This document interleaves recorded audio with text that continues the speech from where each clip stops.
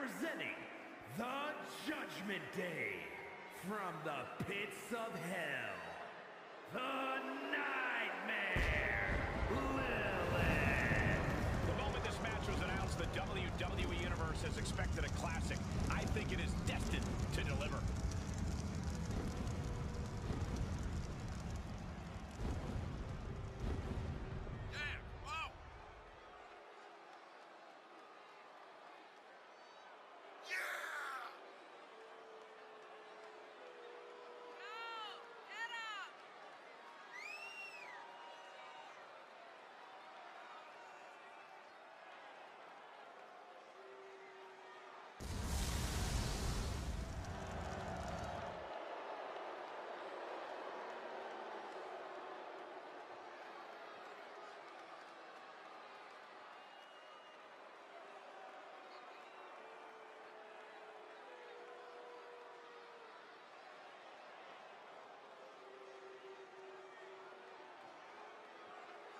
She is ready for this big match, and she knows everyone backstage will be watching her make an impact.